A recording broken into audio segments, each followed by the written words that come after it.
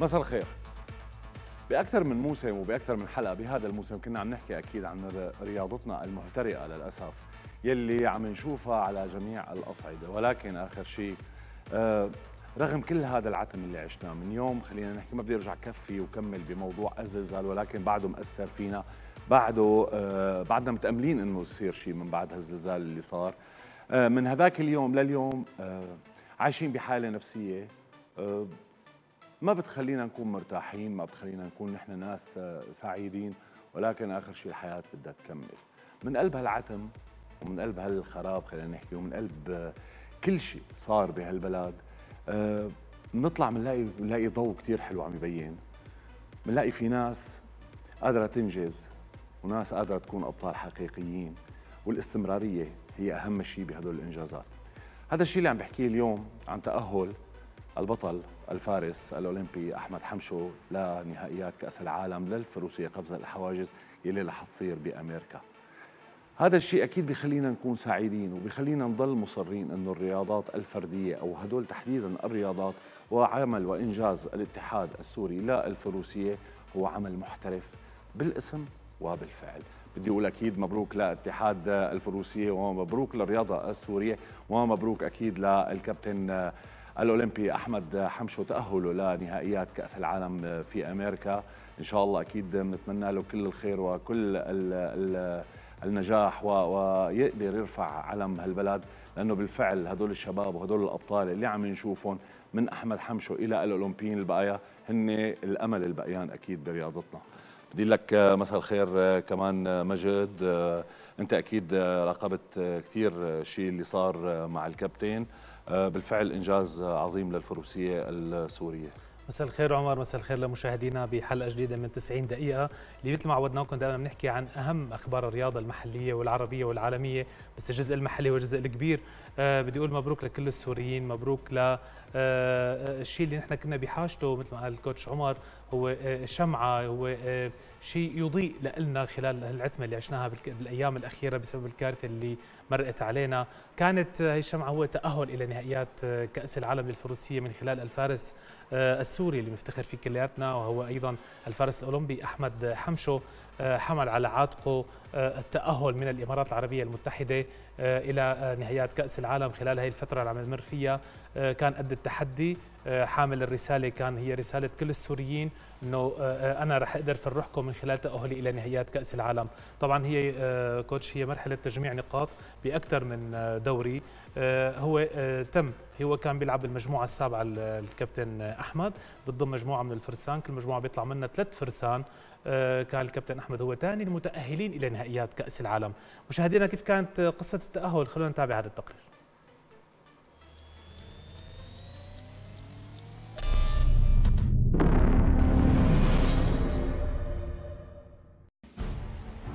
دائما ما كانت الألعاب الفردية تمحي خيباتنا في الألعاب الجماعية. الفارس أحمد حمشو يستمر في مسيرة من سبقوه برسم لوحة المجد للفروسية السورية. عندما أعلن من دولة الإمارات العربية المتحدة تأهله إلى نهائيات كأس العالم لفروسية قفز الحواجز والتي ستقام في أمريكا مطلع الشهر المقبل رافعا علم الوطن عاليا. فارسنا البطل هو ثاني المتأهلين إلى النهائيات وذلك من خلال مشاركته في مباريات الدوري العربي حيث استطاع جمع النقاط المطلوبة لحجز تذكرة المشاركة عن المجموعة السابعة التي كانت تضم خيرة الفرسان والتي شهدت منافسة قوية بينهما ليحسم الفارس السوري التأهل برفقة فارسين آخرين. ففارسنا لديه من الخبرة ما يكفي ليكون منافسا قويا في هذا التجمع الرياضي ونتمنى أن يكون اللقب العالمي لنا فالمستحيل لن يكون سوريا موعدنا الشهر المقبل في أوماها الأمريكية من يوم الثالث وحتى الثامن منه.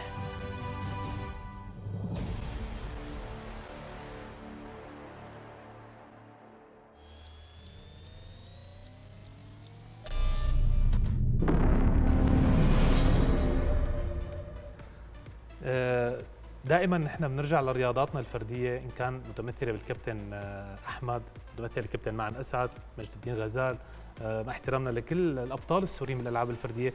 هن عم يكونوا يعني اللي عم يثبتوا لنا إنه نحن بنقدر نعمل شيء بالرياضة بس بالجماعية ابدا ما يعني حكيت إنه هن عم يكونوا الأمل للرياضة السورية ولازم يعني يكون الاهتمام فيهم لسه أكثر وأكثر وأكثر.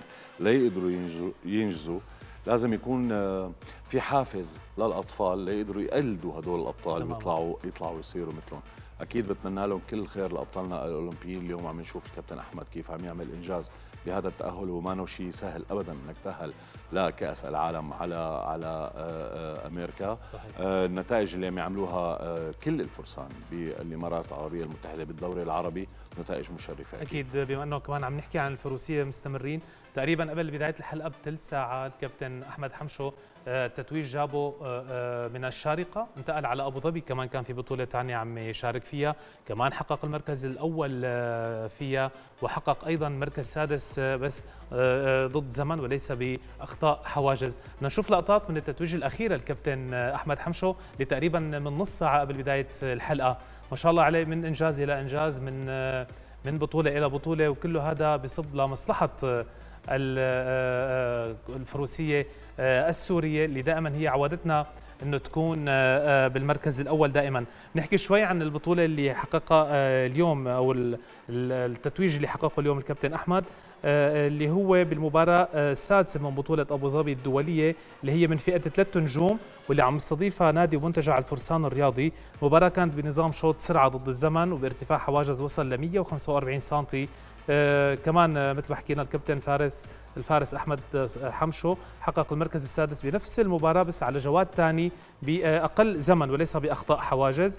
آه طبعا هنا الجوادين فريتشي دي في إس والجواد الثاني بيسواب. وبتمنى له أكيد كل التوفيق للكابتن آه، أحمد بالأيام القادمة.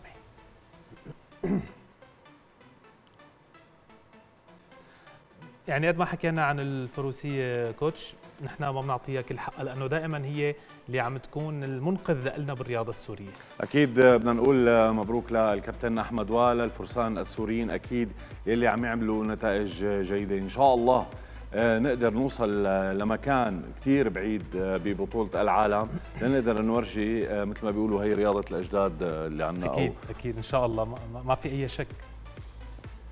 آه كمان مشاهدينا مكملين بحلقتنا لليوم. مثل ما عودناكم دائما بيكون في مقدمة الكابتن عمر. بدي أسأله وين المقدمة اليوم يا كابتن؟ اليوم فاجأت إنه أنا عم اعمل إيه. السيناريو ما بعد تماما. اليوم بدلنا المقدمة بتقرير عن اجتماع اتحاد كرة القدم مع رؤساء الأندية الأخير. بالشأن أكيد يلي هو مشان موضوع الدوري. عملنا له التقرير هذا الشيء وبنرجع بنعقب وبنحكي عليه. تقرير.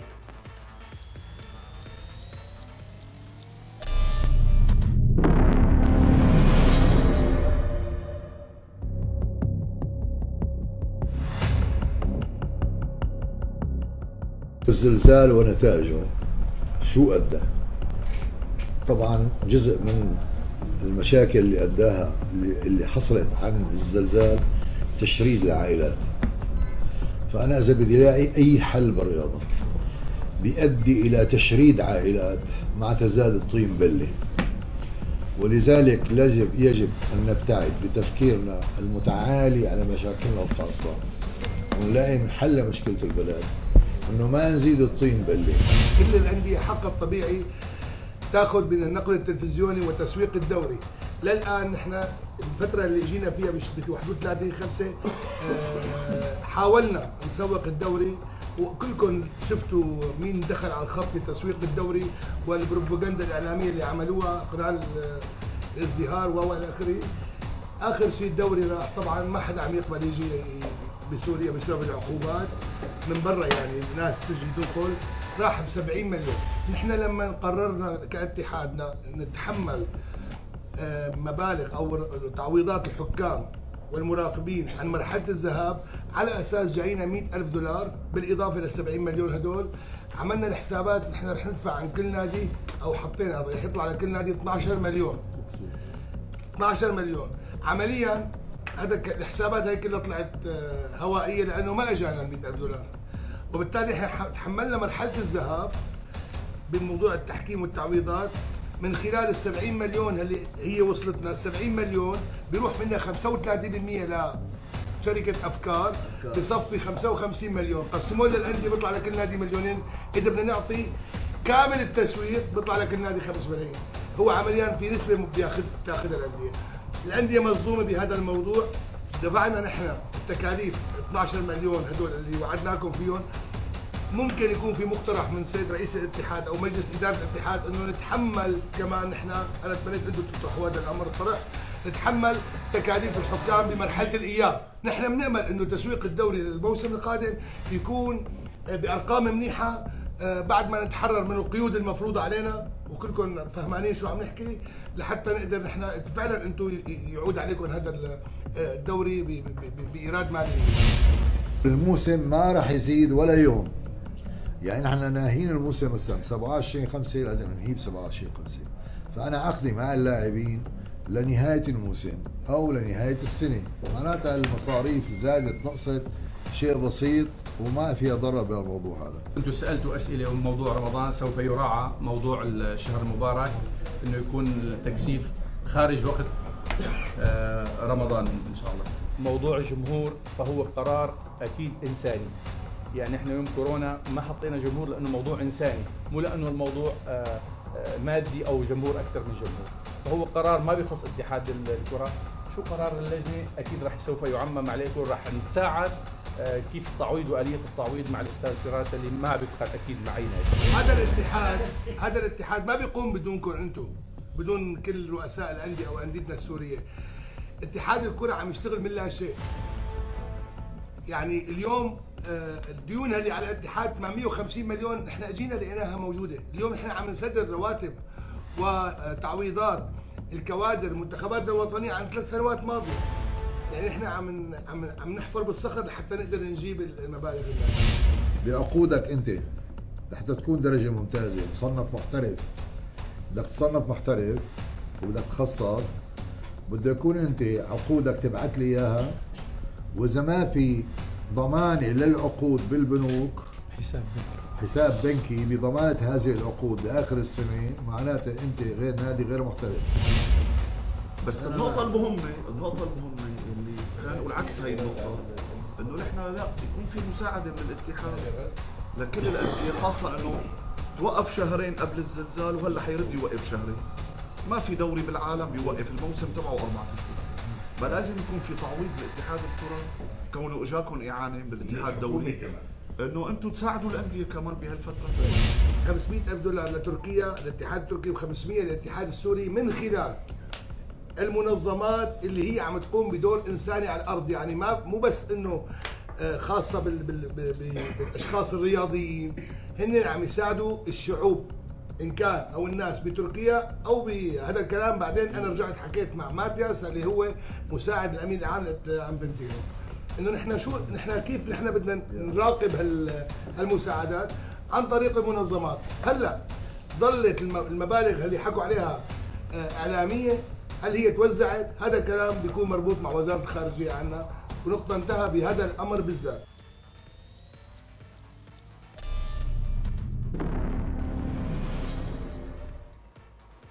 برجع برحب فيكم عن جديد. أكيد ببرنامجكم الرياضي 90 دقيقة. اللي ما عنده كهرباء احضرونا على صفحة 90 دقيقة وعلى صفحة سماء الرياضية على الفيسبوك. هلا بالعادة آه، بيطلع هيك تقارير إحنا ما بنعقب بنحكي على هذا الشيء ولكن أكيد الشيء اللي انحكى لازم يتعقب عليه وناخذ وقتنا فيه. آه، لأنه في شيء انحكى بطريقة صح في شيء انحكى بطريقة غلط ودورنا كإعلام أكيد نورجي هذا الشيء أو ننقده بطريقة محترمة. معنا بطريقة مشخصنه مشان ما تتشخصن الأمور مثل العادة. ولكن ضيفي صار بقلب الاستوديو أكيد رح رحب فيه وأرجع نحكي بالنقاط اللي شفناها بالتقرير. ضيفي لليوم هو الكابتن الدكتور أنس السباعي. آه خليني أقول هو الدينامو والمحرك بنادي المحافظة وخبرة كروية آه يعني آه مفتخر فيها أكيد ببلدنا. مساء الخير دكتور. مساء الورد أستاذ ومساء الورد للأستاذ يسعد مساك يا كابتن متعود على الكابتن عمر أنا ما راح أقول لك أستاذ يعني ف... عمر إذا بدك لا الكابتن عمر لأنه بنحترم تاريخك و... وبنفرح وقت اللي بنقعد معك ونتقابل معك. تسلم لي يا دكتور. طبعا أنا إذا بتسمح لي بلش بالرحمة والخلود لكل شهداء سوريا اللي استشهدوا بحادثة الزلزال والتمني بالشفاء العاجل لكل الجرحى. و... وأكيد الحياة مستمرة ولكن لازم نعرف إنه في شيء اسمه كارثة إنسانية. بكل المجالات اللي بصير فيها كارثة إنس- إنسانية لازم يكون في تصرفات إنسانية صحيح. مقابل هي صحيح. الكارثة. بدي رحب فيك وبدي وقف شوي أحكي على هدول النقاط. أكيد هذا الشيء بيهمك لأنه أنت اليوم ابن هي اللعبة أكيد وحضرتك واحد من المرشحين. كنت مرة لرئاسه الاتحاد السوري لكرة القدم. خليني بس أعقب على الكلام يلي انحكى من الأساتذة في اجتماع اتحاد كرة القدم مع رؤساء الأندية ونرجع نحكي معك موسعا فيهم. أه مسجل هدول ال- ال- المعلومات أو خليني أحكي يعني الشيء اللي سمعتوه هلأ بالتقرير أنا مسجله أكيد بالملاحظات على على ورقة. لا قادر أتذكر كل شيء لحتى نعطي الناس حقها بالمكان الصحيح. الأستاذ صلاح رمضان كنا له كل احترام أكيد كان عم يذكر إنه الزلزال ونتائجه آه، لشو أدت.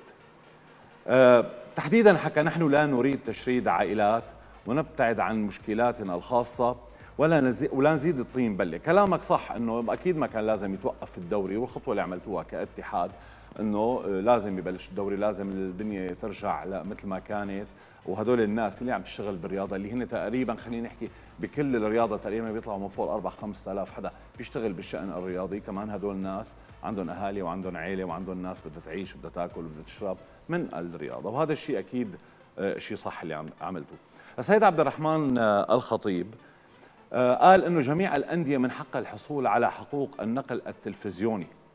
طبعا هذا الشيء طبيعي وقت اللي أنت بتبيع آه، آه، تلفزيون آه، مباريات أو حقوق نقل تلفزيوني هذا الشيء طبيعي وارد ويرجع لل- لل- للأندية للفائدة للأندية.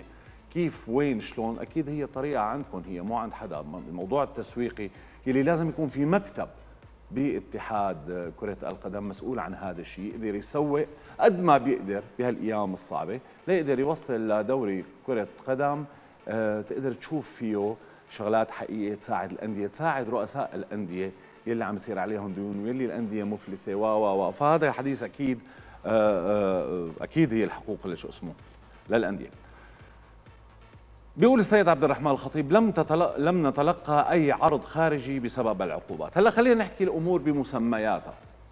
العقوبات ما دخلها لأنه نحن صرنا أكثر من كثير وقت من قبل العقوبات نحن ما قادرين نبيع كاتحاد كرة قدم. عم بحكي نحن يعني نحن بالرياضة السورية. ما قادرين نبيع لتلفزيون خارجي بسبب إنه الدوري المحلي في سوريا بالشأن الفني دوري متواضع دوري متواضع فنيا خلينا نقول.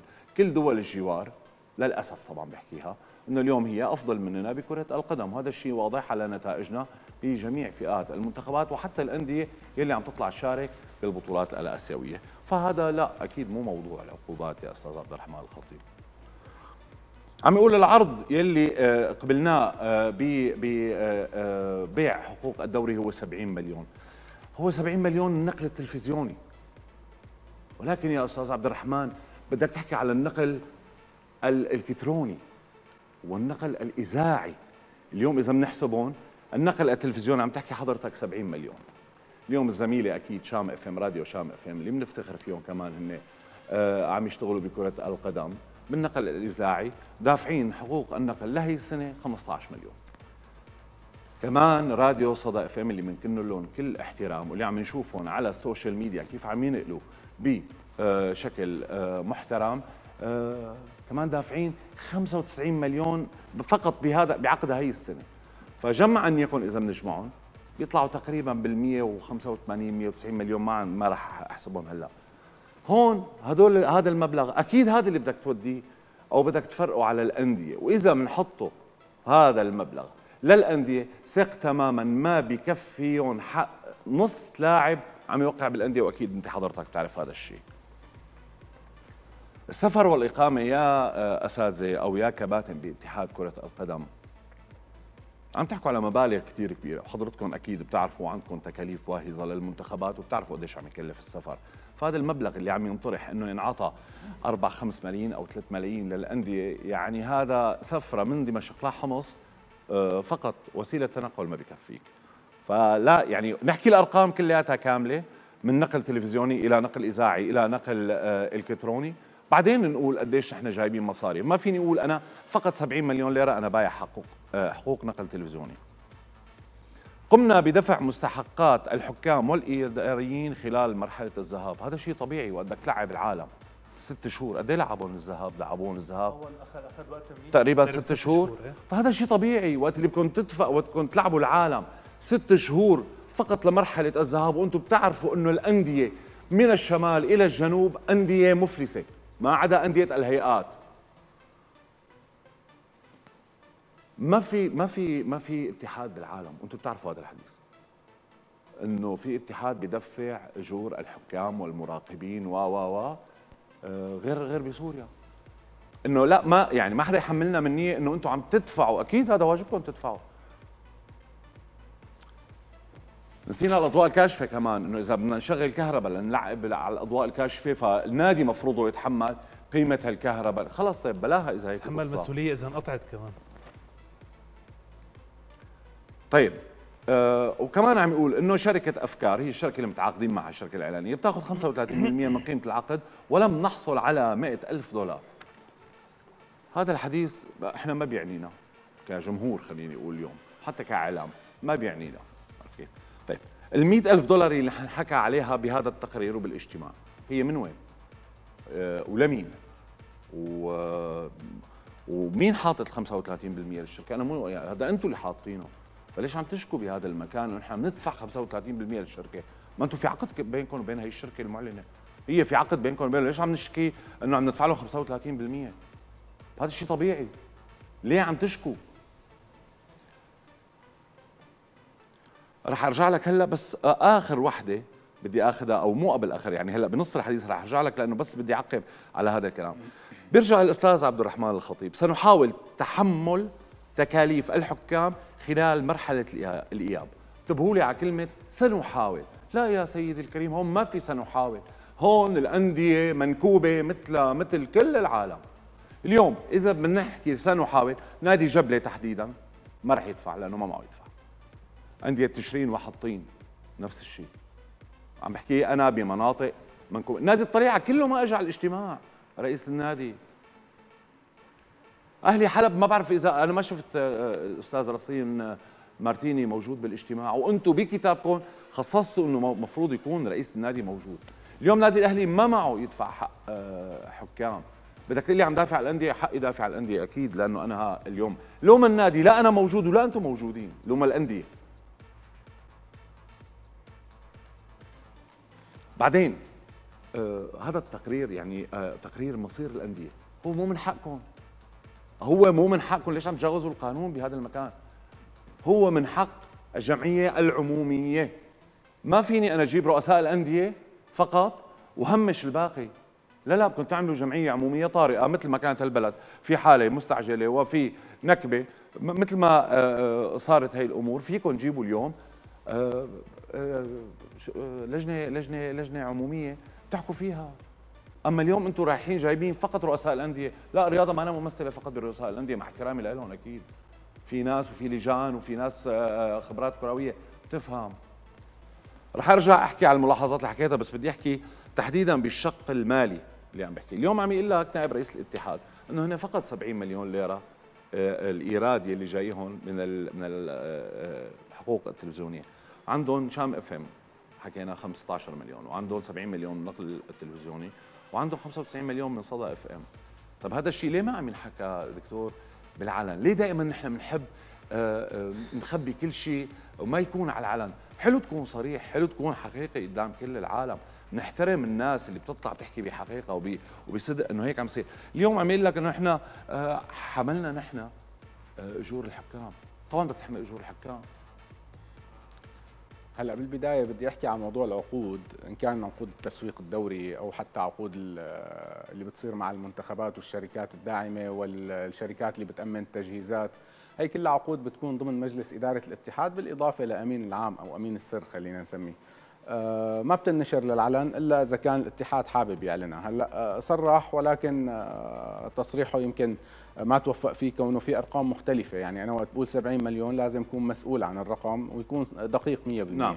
إذا حضرتك عم تقول إنه صدى إف إم لحالها دافعة 95 مليون. مليون فهو أكبر من الرقم هي من محطة أو من موقع إلكتروني مثل ما تفضلت حضرتك فالأرقام إما تعلن بشكل دقيق أو يفضل إنه لا تعلن. يعني أنا وقت اللي بدي أقول خلص أنا بتحمل أجور التحكيم بدون ما أقول إنه أنا إجاني وبدي أعمل. أنا بقول إنه حاول إيه أنا بقول إنه مثلا رح أعطي الأندية الدرجة الممتازة على سبيل المثال 30 مليون لكل نادي. آه، ما في داعي يقول إنه أنا إجاني هيك وراح هيك إذا ما كانت الأرقام دقيقة 100% فقط لحتى نحافظ على مصداقية الاتحاد وقراراته يعني.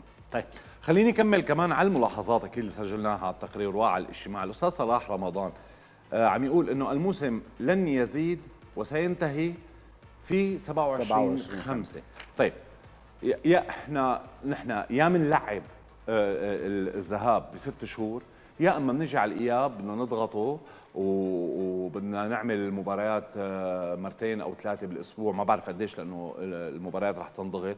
والسيد طلال بركات بيقول لن لكن لن يكون هناك تكثيف للمباريات خلال شهر رمضان.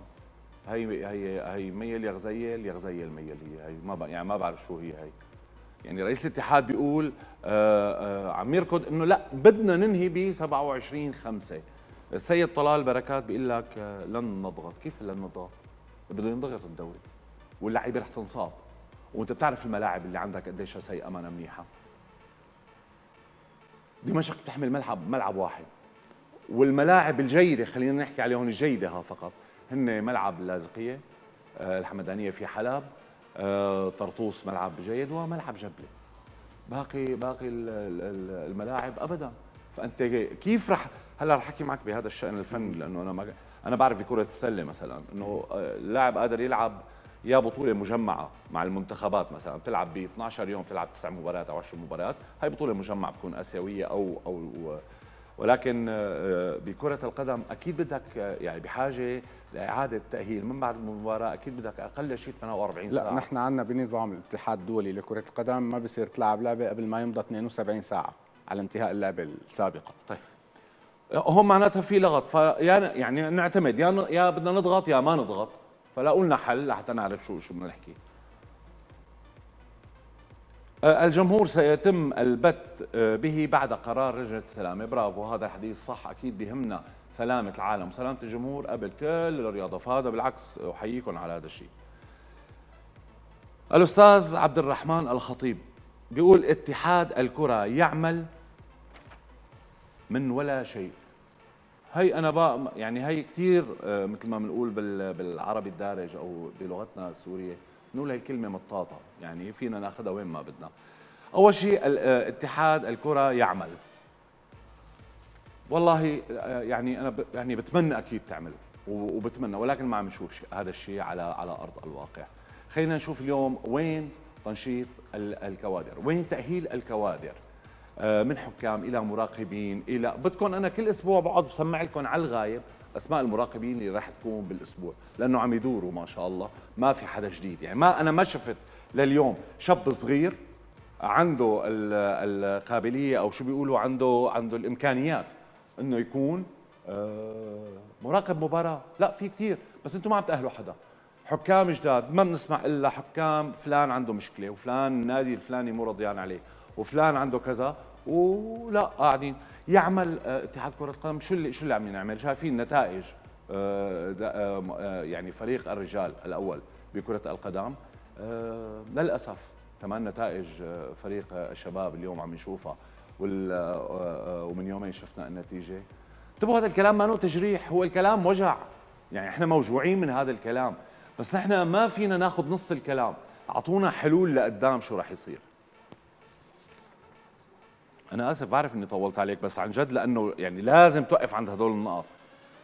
أه بيقول لك نحن سددنا السيد عبد الرحمن الخطيب بيقول نحن سددنا رواتب عن ثلاث سنوات مضت وقيمة الديون في اتحاد كرة القدم 850 مليون. هلا لو الأستاذ عبد الرحمن الخطيب حدا غيره حاكي بقبل هذا الحديث؟ بس منك يا أستاذ عبد الرحمن ما بقبله أكيد لأنه حضرتك كنت موجود بهذاك الاتحاد وطلعنا وحكينا ونوهنا إنه عقد المدرب نبيل معلول رح يعمل مشكلة لاتحاد كرة القدم وصارت المشكلة. بمقابلة باستديو 90 دقيقة بالموسم الأول ولا الثاني مع العميد حاتم الغايب الثاني. الثاني. بدايته. سألته للعميد حاتم الغايب قديش ميزانية اتحاد كرة القدم الأموال المجمدة؟ بيقول لي عنا 14 مليون دولار. طيب وينهم المصاري اليوم؟ إذا عم تقول لي علينا 850 مليون ليرة دين. ما أنت حضرتك كنت بالاتحاد السابق يلي عمل دين على هذا الاتحاد. بعدين وضع الاتحاد على فكرة مثل وضع الأندية.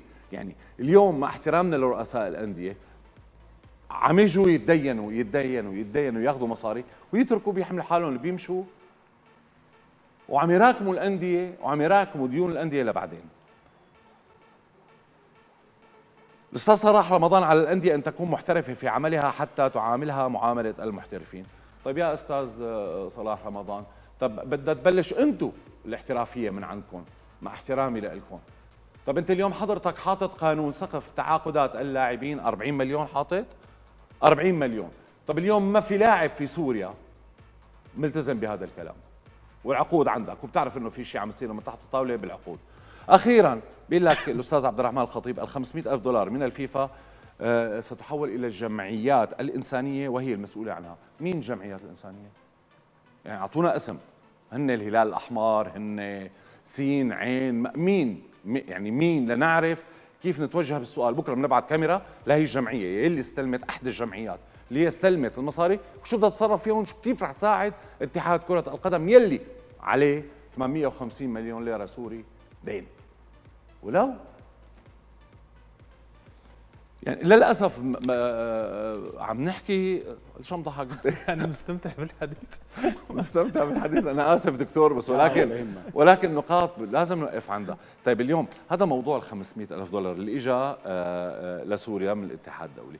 بي- بيقول لك الأستاذ عبد الرحمن الخطيب إنه بده يروح لجمعيات إنسانية. قولوا لنا مين الجمعيات إحنا بدنا نسأل أكيد بيهمنا المصاري. نعرف وين راحت لأنه حابين نطور كرة القدم بهدول المصاري. هلا أنا اللي بعرفه على هي النقطة تحديدا إنه هو فعلا ما بيجي نقدي يعني ما من- ما بيستلم اتحاد كرة القدم 500 ألف دولار هذا بشكل نقدي. صح.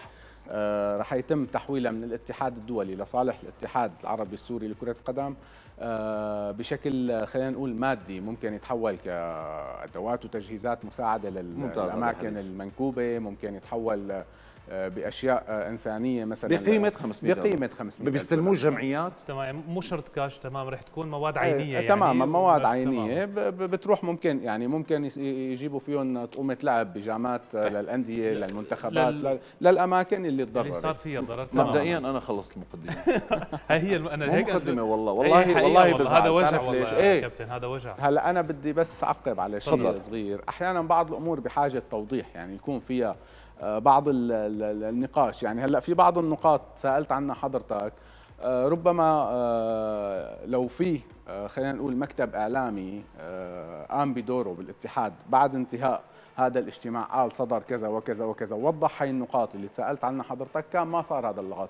وأنا بقول آه، حضرتك واحد من 20 مليون عم يتسالوا نفس الأسئلة.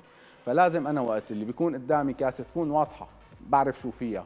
بعرف أنا قادر أشرب منها ولا ماني قادر منعت أشرب. وسائل الإعلام تماما يعني ما بعرف هي النقطة أنا ما. بعرفها. هلأ أنا اللي بعرفه على الاجتماع إنه حضروا رؤساء الأندية ما بعرف مين ما كان موجود بالضبط ولكن الروزنامة كانت محطوطة خالصة من قبل بيوم. يعني هلأ عودة الدوري نحن ما لنا ضد عودة الدوري ابدا. بالعكس معها آه، نحن. نحن مع إنه يرجع النشاط والنشاط بده يستمر. وأكيد حتى طيب. الأندية اللي تماما. تضررت هي نحن مع نحن عودة كوتش الدوري. آه، أكيد رح نحكي. عن موضوع عودة الدوري بس قبل نحن في عنا شغل ما بعرف إذا ما على ما يبدو كل شيء واضح كان من خلال الاجتماع. آه، يعني لخص لك الكلام. قال لك. لو موضحين تمام. ما لنا مضطرين لكل هذا الشيء. خلينا نحن ننتقل لشيء كثير مهم اليوم صار. آه نحن آه كنا متأملين كثير بمنتخب الشباب. لكرة القدم أنه هو يكون نسخة عن منتخبنا اللي حقق بطولة آه كأس آه آسيا للشباب بال 94 95 94 المفروض أنه نحن آه، يعني كرة القدم السورية اليوم تكون عملت نقلة نوعية من خلال الأحلام اللي عشناها مع مارك فوتيه آه، من خلال المعسكرات اللي عملها من خلال الوديات اللي عملها. تقدم له كثير شغلات للكابتن مارك ما تقدمت لمدربين وطنيين. بعتقد أنا باعتقادي الشخصي لو أنه نحن نفشل أنا بقول فشل اللي صار. آه، هيك فشل مع مدرب وطني ممكن نتقبله أكثر ما نحن نفشل فيه مع أجنبي. نحن كان معنا الكابتن ايمن الحكيم تكبرنا عليه الكابتن فجر إبراهيم تكبرنا عليه. مع احترامنا لكل المدربين المحليين بس عم نحكي عن تجربة سورية. رحنا لعند المدرب آه، برند آه، برند شتانجي آه، على آسيا فشل كمان. رجعنا من بعده اليوم مع فوتي فشل. قبل ما نروح على التقرير كابتن بتحب تعطي أي شيء قبل ما نسمع تقرير المباراه رح جاوب. بدك تسمح لي قبل كل شيء بس أنا ما كنت موجود بدي بارك للكابتن أحمد حمشة وبارك لاتحاد الفروسية وبارك للفارسه العظيمة آه، الست منال الأسد. بنفس الوقت بدي أقول hard luck لمنتخبنا. عم تشوف أنت الفرق بين آه، خلينا نقول إدارة ملفين. أنا بدي أقول نحن انبسطنا كثير هلأ وقت تعينا آه، كوبر مدرب للمنتخب الأول. طيب قلنا نحن كوبر شو بده يشتغل؟ قديش المدة الزمنية اللي بده يشتغلها؟ هو جاي ليحط ملف كامل لتطوير كرة القدم السورية ولا جاي ليأهلنا على مثلا كأس العالم تبع 2026 جاي بده ياخذ بطولة آسيا ولا جاي بده يشتغل على الفئات العمرية؟ آه، جاي مثلا معه صلاحيات كاملة ليعطيني أنا خطة عمل لمدة أربع سنين ولا أنا بدي طالبه بالنتائج من اللحظة اللي نحن فيها؟ آه، لازم يتوضح. بشكل دائم أنا أي عمل بدي اقوم فيه لازم أوضح خطواتي. آه، فوتي اجى الله يعطيه العافية. تقدم له كل شيء مثل ما تفضلت حضرتك وحطيت إيدك على الوجع. آه، المدرب الوطني لما بيجي أنت لك واحد اثنين ثلاثة ممنوع تتجاوزهم المدرب الأجنبي بنفتح له كل المسارات. الشيء اللي تقدم لفوتي مشكور اتحاد كرة القدم قدموا لفوتي يعني كل ما يتمنى أي مدرب بالعالم من تحضير معسكرات من أدوات وتجهيزات من سفرات محترفين. من لاعبين محترفين من أماكن إقامة من من يعني كل ما يحلم به المدرب لصناعة منتخب وما بالك إذا كان عندك لاعبين فعلا جيدين. أنا زعلان على اللاعبين. يعني أنت ك مختص فني أو حتى كمشجع أو حتى كإعلامي بتزعل على اللاعب لأنه اللاعب عنده إمكانية. بس إذا بنشوف نحن بعد كل هالتحضير والتقديم اللي تفضلت فيه حضرتك مستوى آه فهي ما شفنا ترابط خطوط طيب. ما شفنا فكر مدرب اليوم عم يصرح المدرب طبعا لسه في عندنا مباراة وإن شاء الله بنتمنى إنه الحظ يخدمنا ويرجع الأمل لنا بفوزنا على تمام بس أنا نقطة واحدة إذا بتسمح لي إنه أنا كمدرب أقعد أحضر منتخب تقدم له كل هاد بفترة زمنية كبيرة ما أشوف ترابط خطوط ما أشوف فريق عم يلعب بطريقة مثل ما نحن كنا بنتامل فمعناتها في عندي مشكلة لازم أحط إيدي عليها. أكيد. بدك تطلع بالتقرير أنت. في شيء بس بس دقيقة تواصل معي هلأ فورا الكابتن آه، إياد مندو أكيد بوجه له تحية. فعم يقول لي عن أي رواتب عم ينحكى نحن مو قابضين من أربع سنين لهلا. مزبوط. وقت اللي كان هو أنا كنت بدي أحكي أنا آسف أنا غسان معتوق صديقي. تماما. قال لي أنا كمان وجه له تحية يعني قال لي أنا لحد الآن في إلي طبعا ما راح أذكر الرقم قديش في إلي مصاري طب معناتها عن أنه رواتب عم ينحكى. ما بعرف. وهذا الشيء اللي إحنا كمان عم نتساءل عنه. سوري مجد. ولا يهمك مشاهدينا لعبنا مباراتين بأوزبكستان آه، بتصفيات كأس آسيا للشباب أو عفوا نهائيات كأس آسيا للشباب. آه، أول مباراة خسرنا مع البلد المستضيف 2-0 ثاني مباراة اليوم للأسف اللي هي كانت الأمل الكبير لنا ضد إندونيسيا اللي رح تستضيف كأس العالم 2023 خسرنا 1-0 للأسف. خلونا نتابع التقرير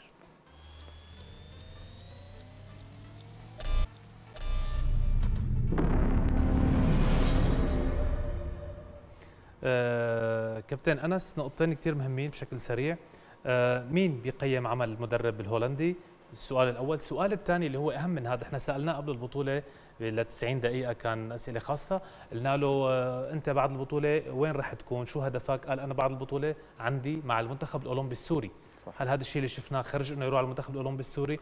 عم نقدم نحن المشنقة لرياضتنا بهي الطريقة. هذا الشيء صح؟ طبعا أنا رح جاوبك وبتمنى ما ينفهم كلامي غلط. أول شغلة أنا بكن كل المحبة والإحترام للأستاذ صلاح رمضان ولكل أعضاء الاتحاد. آه، اللي بده يقيم عمل فوتي هو فوتي تسالني ليش؟ بقول لك لأنه هو مدرب الناشئين ومدرب الشباب ومدرب الأولمبي والمدير الفني بالاتحاد لو ما لحقنا حالنا بهكتور كان راح الرجال يمكن. لا هو إيه، هو يعني مدير فني. يعني أنا بدي أوصل لك مين بيقيم عمله. اللي بيقيم عمل المدرب مدير فني باتحاد كرة القدم. تماما. فالمدير الفني هو نفسه المدرب فهو بيقيم عمل نفسه وهو قادر يحط حاله. بس ولكن آه، ثقتنا بأنه الاتحاد يشوف آه، كيف يعني ظهر يعني أنا آسف لما قطعت يعني هو بده يقيم هيكتور كوبر بس ليبلش عمله؟ هيك المفروض. يعني هيك المفروض. يعني التوصيف الوظيفي تبعه هو هيك. هو المدير هو المدير الفني لاتحاد كرة القدم. نعم. فهو بقيم إيه عمل من بدءا من مدرب الرجال انتهاء بمدربين الصغار يعني قواعد خلينا نعم. نقول القواعد. فالمستوى بيشفع أو ما بيشفع؟ طبعا أنا اللي شفته من خلال مباراتين خليني أنسى كل شيء صار قبل. من خلال مباراتين نحن ما كان في لمسة مدرب ما كان في قراءة مباراة ما كان في غرفة مشالح جيدة آه، ما كان في آه، روح للفريق. أنت بتعرف إنه الفئات العمرية شباب وما دون الروح عامل أساسي. آه، صحيح العامل التكتيكي له دور ممكن العامل البدني له دور ولكن روح الفريق حتى روح الفريق اللي بتنشهر فيها سوريا نحن ما شفناها بهدول المباريات تركناها بأستراليا نحن هلا ما بعرف وين تركناها بس الجواب الدقيق على حكيك إنه نحن لازم يكون في تخصص. يعني نعتمد على موضوع التخصص والشهادات والإمكانيات لحتى نقدر نقيم عمل بعض بطريقة صحيحة ونكون فريق عمل. يعني أنا ما بدي إجي انتقد آه، فوتي لأنه أنا مجرد بدي انتقده. لا هذا بالنهاية منتخب وطن أنا بدي منتخب وطن يظهر بأبهى صورة خلينا نقول فبدي أجيب أشخاص. إذا كان هو مقتنع بعمله تقول له أنت أخطأت بهون وهون وهون. لحتى أقدر قيم العمل بشكل صحيح وصلحه إذا هو بده يستمر. أو إذا أنا عندي الدليل والبرهان القاطع إنه هو أخطأ فأنا قادر ازله وما أخليه موجود. فتعدد المناصب له بالناشئين والشباب والأولمبي ومدير فني الدور كله له طيب بشكل سريع خليني آخذ منك جواب على هذا الموضوع. اليوم أنت شاغل مدرب وأنا كنت رياضي فبنعرف نحن فترة التحضير وقت اللي بدك تأخذها إذا كانت كافية فأنت وإذا عندك نوع آه، آه، جيد من اللاعبين تروح لبطولة بتعمل نتيجة صح؟ صحيح. المعسكرات اللي انعملت والحكي اللي انحكى على هذا الفريق إنه عنده لاعبين وشباب واعدين و و و مثل ما عم تحكي أنت ما ترجم على أرض الواقع ما شفنا شيء. يعني تحديدا بموضوع الروح أنا أنا فيني أفهمها عليك لأنه بعرف قديش نحن بنعتمد عليها لهي القصة. طب هالمعسكرات الكبيرة وهالطويلة وهالسفر وهالصرف الكبير يلي صار على هذا الفريق. اليوم نحن مشان ما نقطع الأمل كمان نقول إنه إحنا برا 100% يعني عنا من الأمل شو بيقولوا؟ إيه بدك يربح تربح على العراق أكثر العراق من 2 على ويربح تماما. على أوزبكستان أنا صرت بختصر بقول إنه خالص. لا يعني هيك التجربه علمتنا كمان. كونه السوريين بنعيش على الأمل. تماما. فبس احكي لي هذا الموضوع تحديدا موضوع المعسكرات الطويلة لهذا الفريق آه، ما فينا نقول ما أخذ حقه. أنا راح أقول بكل ولاعيبه الوديات عفوا ما لعبوا بالأساسي بالمباريات أنا هي نقطة كثير صعبة. أنا راح أقول بكل تجرد هذا المنتخب بيحتوي على نوعية من اللاعبين هي نوعية نادرة بسوريا. آه محمود الأسود آه مالك جنعير. طبعا إذا بدي أذكر بدي أظلم آه بدي أظلم لاعبين. في عدد كبير من اللاعبين بيتمتعوا بمهارة عالية بحالة بدنية جيدة بانضباط تكتيكي. تقدم لهم. تفضل الكابتن عمر قال معسكرات فعلا هن طلعوا عسكر ولعبوا مباريات ودية و... بس نحن ما شفنا ثبات تشكيلة. يعني أنا إذا أنا مدرب أه بكل مباراة بكل مباراة في عندي اختلاف لا يقل عن خمس ست لاعبين. طيب ثبات التشكيلة ليحفظوا بعض ليصير هي التوليفة ليصير الترابط التكتيكي بيناتهم ليكون في إمكانية للتواصل بين الفريق ما كان في ثبات تكتيكي. فايضا بيحمل هذا الموضوع المدرب كابتن عمر وقت مالك مالك المدرب آه؟ إيه طبعا. مالك جنعير هو لاعبكم لاعب نادي المحافظة آه واللي هلا صار بس بشكل إيه بعرف رح الوصل بس طريقة الانتقال. الانتقال تبعه هو انتقال نهائي. انتقال حر إيه. نادي نادي المحافظة أخذ حقه كاملا. وهل برأيك إنه المبلغ اللي تقاضاه مثلا نادي المحافظ هو هو هلا هلا بالنسبة بالنسبة للمبلغ المبدئي خلينا نقول مبلغ جيد ولكن نحن في اتفاقية مع اللاعب لمدة ست سنوات. نعم. كل بداية موسم أو كل عقد بيعمله لنا 20% منه. الكل الكل تعلم من قصص آه، عمر خليفه 100% درس هو درس وبدك تتعلم منه. أكيد. صح 100% طيب. خلينا نشوف تقرير عن عودة النشاط الكروي يلي كلياتنا فرحنا بهذا الشيء لأنه لازم نشوف صحيح. رياضة بالبلد. ونرجع بنحكي عن عودة النشاط. تقرير عودة النشاط.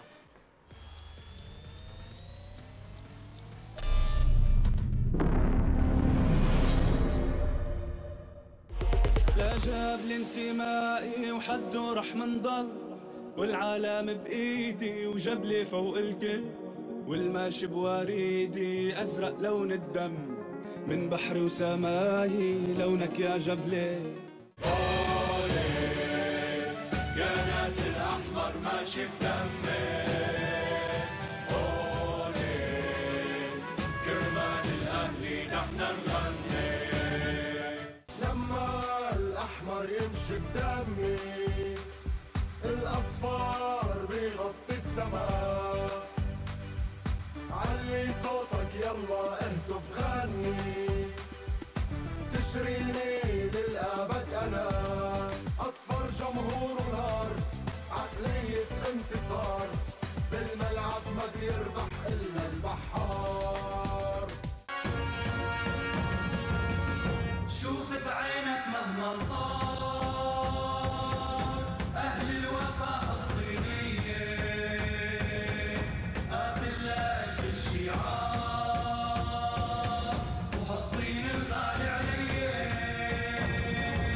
تحت عنوان مصلحة الأندية المتضررة فوق كل شيء. عقد في الاتحاد العربي السوري لكرة القدم. اجتماع لرؤساء أندية الدرجة الممتازة بهدف تحديد موعد لاستئناف مرحلة الإياب من الدوري السوري الممتاز لكرة القدم. رؤساء الأندية أكدوا حرصهم على عودة النشاط الكروي بموعد يناسب بشكل كبير الأندية التي تضررت من الزلزال المدمر الذي ضرب البلاد. وبناء على هذا تقرر انطلاق منافسات دوري الدرجة الأولى بتاريخ الرابع من نيسان المقبل. كما أكد الاتحاد السوري سعيه لدعم جميع الأندية بمبالغ مالية بالإضافة لتحمله كافة أجور التحكيم لمرحلة الإياب. أما فيما يتعلق بعودة الجماهير فقد أكد الاتحاد على اللجان الهندسية والسلامة العامة بتقديم تقارير عن حالة الملاعب والمنشآت ومدى جاهزيتها لاستقبال المباريات والجماهير التي طالبت الأندية بها خلال هذا الاجتماع. اقتراحي كان مساعدة الأندية يعني ماليا لأنه كل الأندية أغلبها متضررة بشكل عام ونادي جبلي بشكل خاص. إحنا عندنا حالة كتير آه، صعبة كتير بس نحن ما حنكون سبب. أنا آه، قدمت الاقتراح بالاجتماع ويوصل على اللجنة التنفيذية إنه نحن ما حنكون سبب بوقف الرياضة السوري نحن ما حنكون سبب بإلغاء الجمهور. نحن ممكن نتعاون نلعب مبارياتنا بلاذقية أو بطرطوس. كنا عم نحكي بداية يعني كبداية إنه نحن مع تأجيل لفترة معينة كونه هي الكارثة كانت على الجميع. ونحن في عنا متضررين من الكادر وكلاعيبة يعني. وهي بتأثر نحن على أدائهم وعلى النفسية وعلى على الشعب بشكل عام يعني. هو الاجتماع الأساسي كان استمرار النشاط الكروي أو عدم استمرار النشاط الكروي. بالتصويت لجميع الأندية تقرر استمرار النشاط الكروي بالنسبة للدرجة الممتازة ابتداء من أربعة أربعة. أهم شيء دعم ال- الأندية المنكوبة يعني حصل بها زلزال يعني مع إحنا الرأي هذا. ورأي استمرار الدوري. تمت الموافقة من قبل الأندية كلياتها استمرار النشاط الرياضي بتاريخ 4 4 واستمرار الفئات العمرية والشباب والأشبال والناشئين بتواريخ طبعا يبدأ النشاط ب 15 3 الآن وفي هذا الوقت لا يهم كيف نعود أو الشكل الذي سنعود به. المهم هو أن تعود الحياة إلى هذه البلاد من جديد وأن يعود ملعب الباسل والحمدانية ممتلئا يوم الجمعة وأن يعود صخب الجماهير إلى ملعب البعث في جبلة.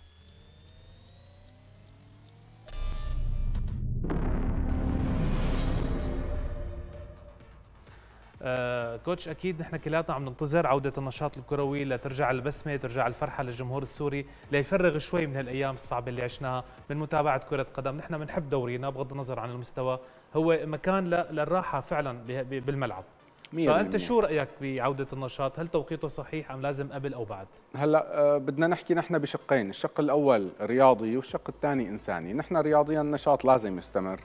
آه، أكيد آه، وقف النشاط صار لأسباب الزلزال ولكن عودته كانت ضرورية، هلأ التوقيت ممكن يكون الأندية ال- يعني الأندية اللي بالمحافظات المتضررة هي أقدر على الإجابة إنه التوقيت مناسب أو لا. بس اللي بعرفه أنا إنه يعني اللاعبين الحمد لله كلهم آه، بخير وصحة وسلامة. آه، ممكن آه، بعض ال- الأماكن اللي فيها إقامتهم صار عليها ضرر ولكن ما بيمنع إنه هن يرجعوا للنشاط. وكان تصريحي أنا باجتماع ال- رؤساء الأندية حضرت إنه ما عندنا مشكلة بقرار بياخذه الاتحاد ولكن مع الحفاظ على الناحية الإنسانية عند الأندية اللي تضررت. يعني على سبيل المثال خلينا نقول نادي جبلة قال أنا ماني قادر إنه تابع بالنشاط فأنت ما فيك تلزمه بهذا الظرف يعني هي مو حالة مثلا كورونا أو مو حالة بسيطة هي كارثة. كارثة إنسانية آه، خلينا نقول ضخمه فكان يعني بحق لأي نادي تاذى مثل نادي جبلة أو أهلي حلب أو تشرين أو حطين يقول إنه أنا ما عاد عندي الإمكانية ولكن بما إنه هن وافقوا فخلص انحلت كانوا. متعاونين يعني سمعنا ال- الكابتن وقال أنا بلعب بملعب. ثاني ما عندي يعني إيه. قال لك أنا ما راح أكون آه، عقبة آه، في 100% فما رح نجي نحن انديه الشام أو حتى كان متعاون 100% يعني بال بال بموضوع السفر إذا- الفريق إنه يلعب تمام. أصحاب الكارثة قالوا رح نلعب صح. فما فخلص معناتها. الأمر انتهى يعني. لا بيرجع النشاط وتفضلت حضرتك إنه كرة القدم هي منفس أو حتى الرياضة بشكل عام كرة القدم أو السلة أو أي رياضة هي منفس للشعب يعني ليروح يتابع ويشجع وي- طيب. ويعيش الأجواء. آه رح نبقى باجواء الملاعب. مثل ما بنعرف كلياتنا عم ننتظر آه، آه، اللحظة الحاسمة آه واللحظة اللي كثير كلياتنا بدنا إياها بفارغ الصبر. عودة الملاعب المباريات الدولية إلى الملاعب السورية. كان في عندنا لجنة فيفا من آه، فترة قصيرة إجت وكشفت على الملاعب وما بنعرف شو اللي صار إذا رح ترجع بعدين أو لا. آه رح نحكي أكثر عنها هلأ بعد ما نشوف هذا التقرير.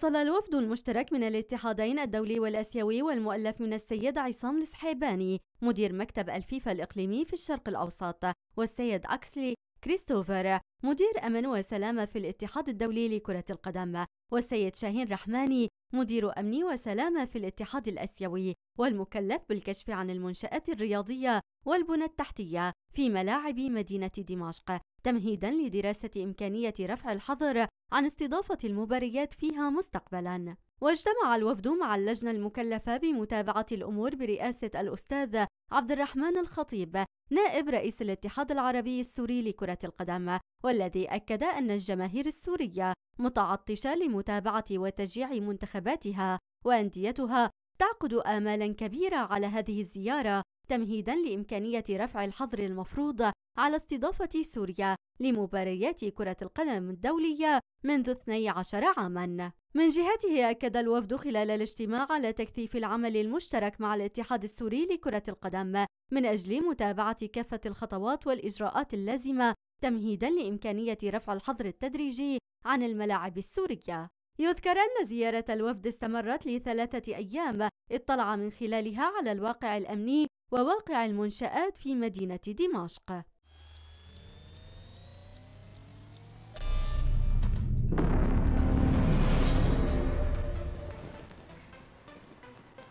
طبعا لنعرف أكثر عن هذا الموضوع. معنا الكابتن الاستاذ مازن دقوري رئيس لجنة سلامة وأمن الملاعب وعضو عضو عفوا اللجنة. مساء الخير كابتن. مساء الخير كابتن عمر مساء الخير أستاذ مجد وبحب مسي على الدكتور أنس. الله يسلمك. مساء الورد أستاذ مازن. أهلا وسهلا فيك أستاذ مازن بشكل سريع. آه، لو سمحت بدنا تعطينا انطباع اللجنة اللي إجت عن الملاعب في سوريا. طبعا نحن مثل ما حكيتوا في لجنة كانت أو بعثة هي كانت مشتركة من الاتحادين الآسيوي والدولي. زارت دمشق بالفترة ب 23 شباط ضلوا ل 27 شباط كانت لها جولات وكان في لها يعني هي كان في جدول للزياره التفقديه للملاعب فكان انطباع اللجنة بالزيارة اللي أستاذ مازن؟ هلا يبدو في مشكلة بالاتصال؟ عم تسمعنا أستاذ مازن؟ يمكن هو عم يسمعنا بس نحن ما عم نقدر نسمعه. آه، أستاذ مازن. يا ريت الشباب يرجعوا يعودوا الاتصال. معه هسه يكون الاتصال جاهز كابتن؟ آه، آه، قد إيه صعب أو سهل إنه نحن نرجع نفك الحظر على الملاعب لا هو لازم الكل يعرف والجمهور ما ي... يعني ما ينساق ورا كلمة إنه نحن رح نرجع. هو مشوار طويل كتير. آه، اللجنة رح تاخذ وقت كتير كبير. آه، رح يشوفوا الملاعب بكل ال- ال- المحافظات. آه، امنها سلامتها مرافقها.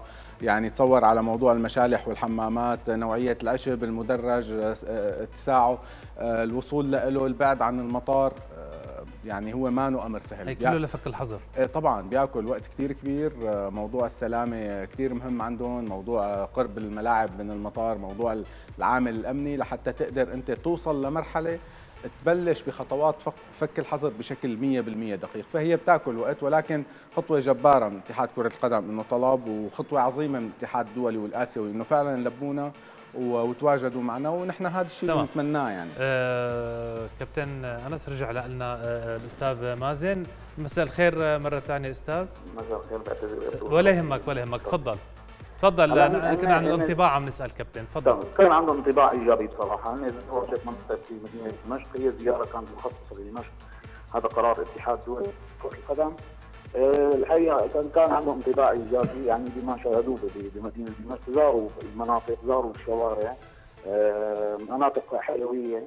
آه، اطلعوا على يعني على على سير العمل في بعض الأماكن. حتى تفاجئوا ب- ب- ب- بشغف الشعب ومحبته للحياة رغم المعاناة اللي عاناها خلال سنوات ال- الأزمة. فتفاجئوا إنه هذا الشعب يعني زاروا الأسواق مثلا لو الشعب موجود في الأسواق عم يشتري عم يتسوق. آه، شافوا الش- الشعب السوري لسه عنده يعني شغف في الحياة. فكان الحقيقة كانت مغايره تماما للصورة اللي هي كانت بمخيلتهم بعد ما وصلوا على دمشق وتفاجئوا وعبروا لنا إنه يعني إنه متوقعين يجوا على البلد هون يلاقوا الوضع مختلف تماما. طيب آه، آه، أستاذ مازن أنا آسف مشان الوقت بيهمني سؤال كثير هون. آه، آه، شو هي الأسس اللي آه، رح تعتمد عليها اللجنة آه، آه، بما يخص فك الحظر عن الملاعب السورية؟ هلا هو موضوع فك الحظر هو موضوع يعني هو إجراء طويل وليس إجراء مجرد إجراء قمنا فيه وانتهى الموضوع. هو نحن مثل ما بتعرف صرنا من من 2011 تقريبا ما استضفنا مباريات دولية. بسبب بسبب بسبب الأزمة اللي عانت منها سوريا. طبعا بشكل مختصر يكون هو يعتمد تقييم الوضع الأمني بالبلد بشكل عام. المدينة اللي حتستضيف الحدث الرياضي يعني إنها مدينة دمشق مثلا هذا اللي حاليا تمت الموافقة عليه بشكل مبدئي. آه، هن عندهم تقييم للوضع. يجوا لهون حتى يتموا الإجراء أو يعملوا تقرير ميداني حول الوضع. في عندهم كان زيارة مجدولة أماكن معلومات عم يسألوا عنها. تم الاجابه عليها كامله تم اجراء كافة الزيارات المطلوبة آه، ل- ل- للإيضاح لهذه اللجنه إنه الوضع مستقر وآمن ونحن قادرين على استضافه اي حدث دولي هذا تماماً. بشكل بشكل بما يخص الأمن العام بالبلد. آه، في عندك شق ثاني هو شق البنى التحتية. وهي تتمثل بالمنشآت يعني. كرة القدم تمارس على على ملاعب. فهي المنشآت مثل ملاعب كرة القدم لازم تكون هي الملاعب آه، مطابقة لمعايير الاتحادين الآسيوي والدولي سواء على مستوى المسابقات ومستوى الأمن والسلام. فزاروا المنشآت زار الاتحاد الآسيوي تحديدا زار ملعب الفيحاء آه، تمت زيارة ميدانية وتفقدية للملعب سجلوا الملاحظات اللي لاحظوها طبعا الملعب بحاجة في بعض الإجراءات والملاحظات الملعب بحاجة إنه يتم استدراكها. طيب. فتم تسجيلها آه، زاروا أيضا الفنادق أستاذ. أستاذ أستاذ مازن خليني بس عفوا أنا أقطعك هون بهذا المكان. اليوم هي الزيارة مخصصة فقط لدمشق. تمام. هي آه، غير محافظات مثلا مثل ملعب الحمدانية الدولي في حلب هو هن ما مطروح على روزنامه الزيارة كانت؟ هلا هو كان مطروح إنه يزوروا عدة مدن بصراحة. أنا ليه, ليه ما زاروا المدن؟ اجت الموافقة هيك يعني هن الاتحاد الدولي اللي وافق فقط حاليا على دمشق هلأ هو الاتحاد الدولي له له يعني عنده أسس وعنده معايير نعم. معينة آه، بترجع لموضوع ال- ال- التوترات الأمنية بالمناطق ال- يعني الاتحاد الدولي مو ما بيعتمد فقط على الأخبار بيعتمد على في عنده في عنده دراسات أمنية وعنده وكالات أمنية بتعطيه مناطق التوتر نعم. مناطق الصراع مناطق الامن مناطق غير امن فحاليا الموافقه الكاملة إجت على دمشق لكن طيب. نحن موعودين إنه يكون في زيارات آه. موعود موعودين بزيارات آه، آه، بزيادة لل- للجنة. أكيد أكيد. تماما تماما. آه، نشكرك كل الشكر الاستاذ مازن الدقوري عضو لجنة أمن وسلامة الملاعب كنت معنا عبر الهاتف. إن شاء الله يا رب نخلص من القصة ما تأخذ كثير وقت يعني هلا على الكلام اللي حكاه- أخذت وقت كثير طويل بس, بس إذا على الكلام اللي حكاه الدكتور بموضوع المواصفات واللي هو هذا شيء طبيعي. بينطبق على كل الرياضات صحيح. معناتها نحن عم نحكي بغير مكان مشكلة كبيرة. لأنه إذا عم يقول لك زاروا ملعب الفيحاء.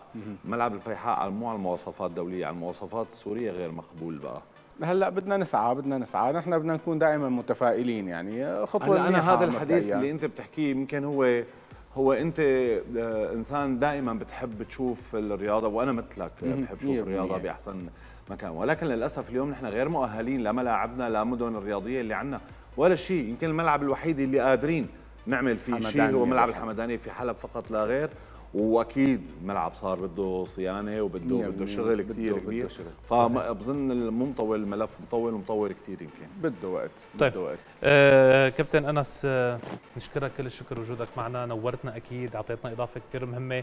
وإن شاء الله الأيام الجاية بتكون ضيف أكيد ببرنامج 90 دقيقة. طبعا بصراحة أنا اللي بدي أتشكركم. أنا بال- بالنسبة لي ال- القعدة معكم مكسب. شكراً لك. آه، مشكورين وفعلا برنامج بيستاهل إنه الواحد آه، يحضروا ويتمتع بال- بالمقدمة اللي تفضل فيها الكابتن عمر اللي هي إجت مثل فشة قلب ولكن في نقاط كانت بحاجة لتوضيح صار لي وإن شاء صار الله لي ثلاث مواسم بفش قلبي وما وما ما عم- عم- ما عم ما, ما, تستفاد. المشكلة وللأسف تتشخصن الأمور بيقول لك إنه لا أكيد أنا وياك وكل الأشخاص نحن بنحب نحن بهمنا- رياضة ونحب إنه تتطور حقيقية. بلدنا يكون بأحسن أكيد. إن شاء الله شكرا. لكم ولأستضافتكم إن شاء الله الأيام الجاية بتكون أفضل أكيد آه، مشاهدينا أكيد مستمرين ببرنامج 90 دقيقة مثل ما في عودة لكره القدم السورية في عودة لكره السلة السورية. خلونا نتابع هذا التقرير.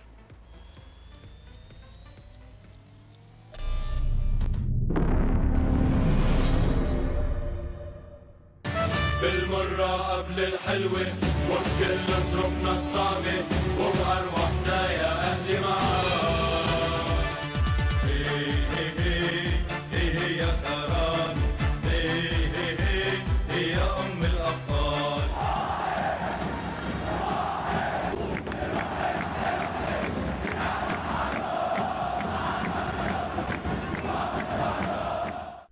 الأنقاض لازم نبلش نبني وبعد الخوف لازم نجمع كل الشجاعة يلي بقيت بقلوبنا لنكمل حياتنا.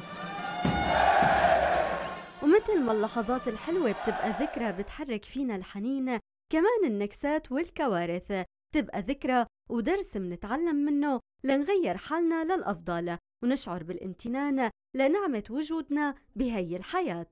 من هذا المنطلق أصدر الاتحاد العربي السوري لكرة السلة عبر صفحته الرسمية قرار بعودة النشاط الرياضي يوم الخامس عشر من آذار الجاري بعد ما توقف الدوري لفترة قرابة الشهر. العودة هي المطلوب. ما بهم مين رح ينافس أو شكل الدوري. الأهم هو عودة الحياة لصالاتنا بوجود الجماهير يلي كانت وما زالت. اللاعب رقم واحد بكل نادي. ولكن لليوم صالاتنا ما زالت مركز محبة لكتير من العائلات يلي تضررت من الزلزال. كيف رح يكون شكل الدوري؟ وين رح تلعب المباريات وتوقيتها؟ وخاصة أنه صرنا على أبواب شهر رمضان الكريم.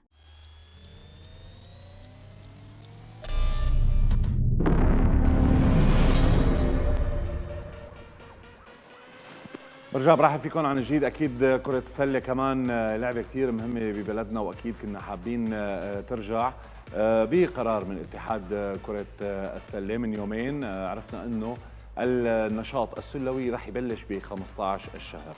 ضيفي اللي صار معي بقلب الاستديو قادر يحكي لنا عن الدوري ويحكي لنا عن فريقه أكيد بهذا الشيء. الكابتن هيثم جميل يسعد مساك يسعد مساك حبيبي عمر أهلا وسهلا فيك كابتن هيثم مدرب نادي الجيش. أكيد نورتنا. حبيب قلبي. ونتمنى رجعة ميمونة لكل الانديه السوريه بكره السله آه، يسعد مساكم أول شيء ومسلم المشاهدين. كنت تسمحوا لي طبعا كلياتنا بهالظرف هذا اللي إحنا فيه. آه، تعازينا طبعا القلبيه لكل الضحايا بضحايا الزلزال. يمكن بخص أكثر يمكن نادي العروبة بوفاة لاعب كرة السلة ألبير. طبعا مع طبعا اطيب أمنياتنا للمصابين اللي تهجروا يرجعوا ترجع امورهم طبيعية.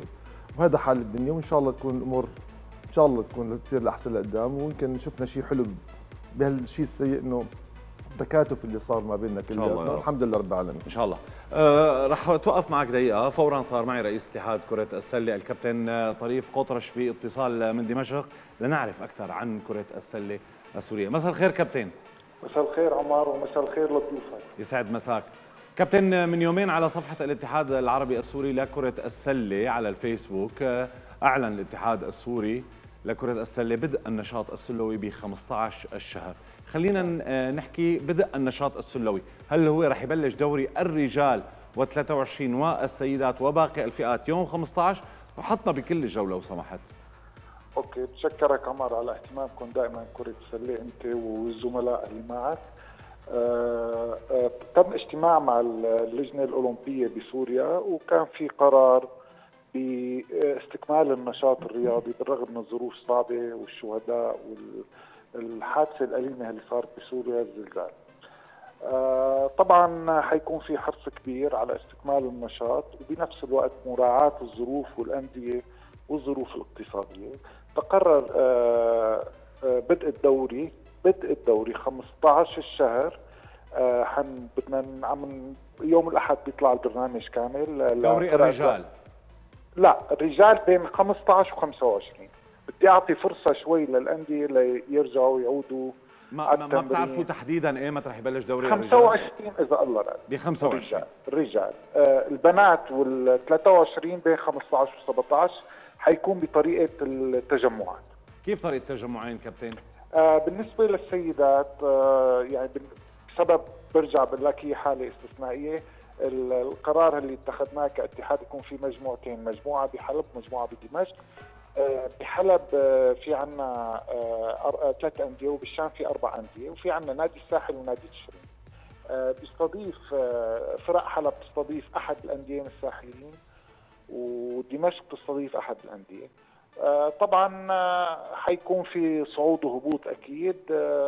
حنعمل تجمع بناخذ أول اثنين باول اثنين مساوي اكسات بيطلع بطل دوري وبينزل فريق واحد لأنه اوريدي قاسيون. نزل هذا الكلام بينطبق على دوري 23 كمان؟ 23 صار في آه، خالصين. نحن بتجمع في عنا وحدة وجيش واتحاد وحرية وجلاء نعم. تماما. هدول حيصيروا بتجمع واحد بحمص إذا الله راد. آه آه كمان بنفس المبدأ بأقل يعني خلينا أقل الكلف الممكنة ونعتمد آه بطل دوري و ثاني آه، دوري وبيكون خلصنا 23 الرجال حيستكمل بطريقة الدوري ذهاب وإياب استكمال للدوري. نحن حيكون في يا لاعب أجنبي يا لاعبين بال final four الحريه للأندية. أنا عملت مثل استبيان من كل الأندية للأسف ولا نادي مثل الثاني. يعني كل نادي عنده مشاكله الخاصة عم بيحاول يحل مشاكله الخاصة شو, شو الغريب يعني؟ طلبات آه نحن حنراعي مصلحة اللعبه أكيد مصلحة الأندية. كابتن في لاعب موجود لاعب أجنبي بالدوري؟ أكيد. موجود لاعب ونفس القانون اللي بلشوا فيه الموسم. لاعبين أجانب اثنين بال final four تمام. طيب آه بس عمر سؤال... بس خليني أنوه على شغله آه رسوم الاتحاد ال 5% عفيناها من الأندية. آه كل العقوبات المالية سيتم كمان آه، اعفاء الأندية من العقوبات المالية السابقة. آه، حنساعد شوي بأمور التحكيم. كابتن هلا هلا عفوا خليني خليني أقطعك تماما عند هي النقطة. هلا كنت عم بنتقد اتحاد كرة القدم بنفس هذا الكلام. آه رح نساعد كذا. هل رح يساعد اتحاد كرة السلة بموضوع التحكيم أم لا؟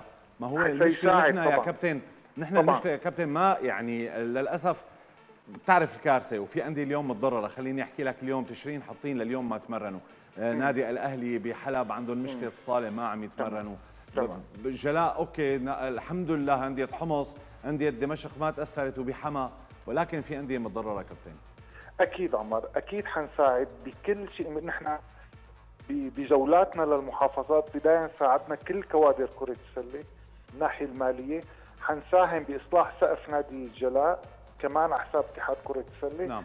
دعمنا اللاذقية كمان بحساب اتحاد كرة السلة. حسم ال 5% وإعفاء العقوبات المالية على الأندية. وحنساهم بكل تأكيد بدعم الأندية بموضوع التحكيم. طيب آه, آه، بالنسبة لحلب إيه؟ آه ممكن نعتمد صاله الجلاء. هذا هذا السؤال اللي كنت أسألك إياه، يعني اليوم الحمدانية بنعرف إنه فيها هي أكيد. مركز هي مركز من مراكز المحبة أكيد صحيح. اللي اللي موجود فيها صحيح. آه أخواتنا اللي قاعدين فيها، رح يتم الاستعاضة عنا بصاله نادي الجلاء. الجلاء واليرموك وهذا القرار طبعا بيصدر من رئيس اتحاد كله سليم كوتش؟ عفوا كله سليم يعني كله تم الفحص عليه إيه إيه تمام تمام آه، هندسيا صالة الحمدانية والجلاء واليرموك طبعا في لجنة مختصة بتوقع على مسؤوليتها نعم. آه، آه، من قبل المحافظة والإدارة المحلية لمتابعة هي كابتن دوري وصل super league آه، اللي سمعناه أكيد آه، بتصريح من آه، أكيد دوري وصل وال super league إنه تم الاعتذار من القائمين والاتحاد الآسيوي عن متابعة مشاركة نادي الكرامة ونادي أهلي حلب بهذا هذا الشيء صحيح ولا لا؟ تمام عمر أنا بعد زيارتي للاذقيه وحلب ثاني يوم جمعة كان كنت خميس بحلب جمعة كنت ببيروت مع الاستاذ اجوب وتم التنسيق معه بإعفاء الأندية من أي عقوبات وحرصا على الأندية وحرصا على الموضوع الاقتصادي قدرنا نعتذر بآخر مباراتين لفريق الكرامة والاتحاد دون أي عقوبات على سوريا أو على الأندية.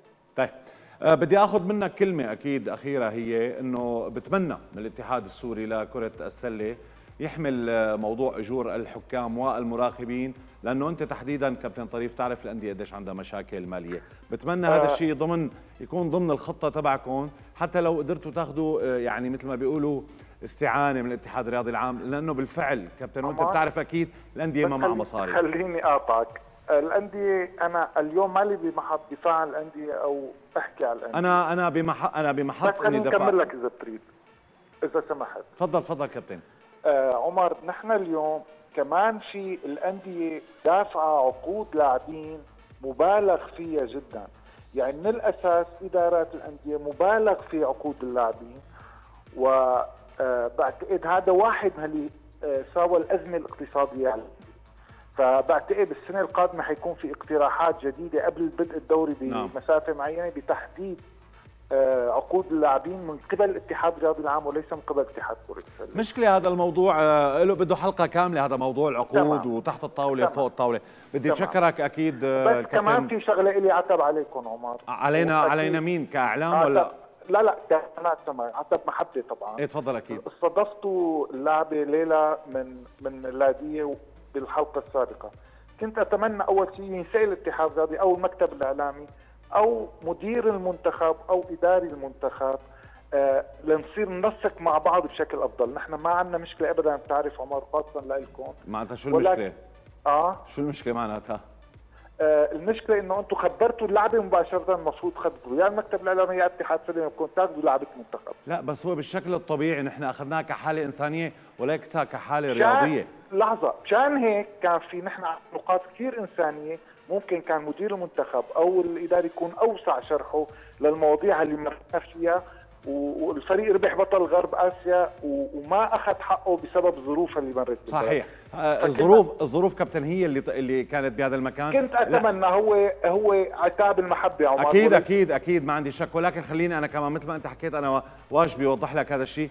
نحن آه، الحلقة الماضية كنا تقريبا تقريبا ب 21 اتصال بالحالات الإنسانية الرياضية شفنا كيف تفاعلت الحالة يلي صارت بفريق الصبايا الصغار يلي ربحوا البطل وهذا طبعا كثير شيء وإحنا حييناهم أكيد وباركنا لهم على هذا الشيء. ولكن الحالة الإدارية الإيجابية يلي شفناها حبينا ننوهها آه، مشان هيك عن هي حالة. اداريه وكان في فكر كثير نظيف مشغول هنيك كنتوا لازم تاخذوا يا مدير المنتخب يا اداري المنتخب. وهي ملاحظة محبة يعني. ولا ما يهمك ما وصلت في مشكلة. وصلت. شكرا كابتن طريف قطرش رئيس. الاتحاد السوري لكرة السلة.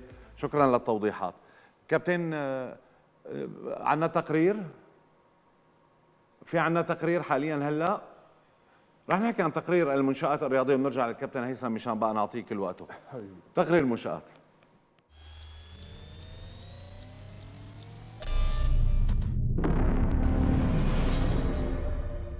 اقتربت عودة النشاط الرياضي بدوريي كرة القدم والسلة بعد الزلزال المدمر الذي ضرب البلاد، وهنا كثرت التساؤلات عن هذه العودة، وهل المنشآت جاهزة لاستقبال المباريات واستقبال أعداد كبيرة من الجماهير، وخاصة أن عددا كبيرا منها هو مركز لاحتضان الناس التي تضررت من الكارثة. والكشف عن هذه الملاعب والصالات سيكون مسؤولية كبيرة تقع على عاتق الاتحاد الرياضي العام، ولهذا يجب بدء العمل بأسرع وقت للكشف عن جميع الملاعب وفي كافة المحافظات، وهذا ما أكد عليه الاتحاد العربي السوري لكرة القدم في اجتماعه الأخير، لكن يبقى المرحلة الأهم وهي التنفيذ، وعليه يجب أن تكون هذه الصيانة هي عامة لهذه الملاعب التي بدت في وقت سابق من هذا الموسم أنها تصلح لكل شيء إلا ممارسة كرة القدم في أرضيتها ومرافقها. عودة النشاط الرياضي قد تقررت، ومع هذه العودة سيكون من حق الجماهير أن تشاهد فريقها في مدينتها وعلى ملعبها. أيام قليلة هل ستكون كافية من أجل إعطاء التقارير اللازمة للتأكد من السلامة من أجل عودة الجماهير وأن تكون هذه التقارير على عاتق من أصدرها؟ فنحن لسنا بحاجة لكارثة جديدة فوق كل كوارثنا.